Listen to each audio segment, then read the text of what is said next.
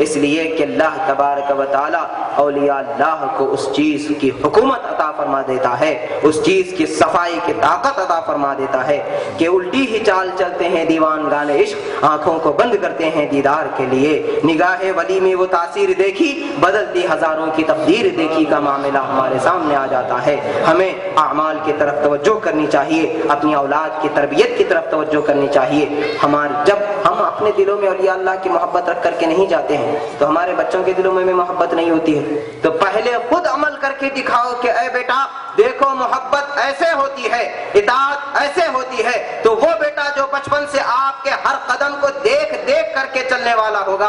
आप एक कदम उठा करके डाल रहे होंगे तो आप देखें कि आपका बच्चा वहाँ पर बाजू बैठा होगा, देख रहा होगा कि मेरा बाप कदम कैसे डाल रहा है, मेरा बाप किस तरीके से दुनिया में चल कैसे रहा है, कैसे वो अपने कदम को आगे बढ़ा रहा है किस अपनी ज़िंदगी की जरूरियात को हासिल कर रहा है। वो बच्चा जब आपको देखता रहेगा, देखते देखते आपके नक्शे कदम पर चलने वाला हो जाएगा। आपके नक्शे कदम पर चल रहा होगा। यही मामला है कि पहले खुद को सुधारो, ताकि आपकी औलाद सुधर जाए। खुद को सुधारेंगे कैसे? अल्लाह वालों की बारगाह में जाना चाहिए। हक की खिदमत में हाजिर होना चाहिए। अपनी ज़रूरियात को पूछना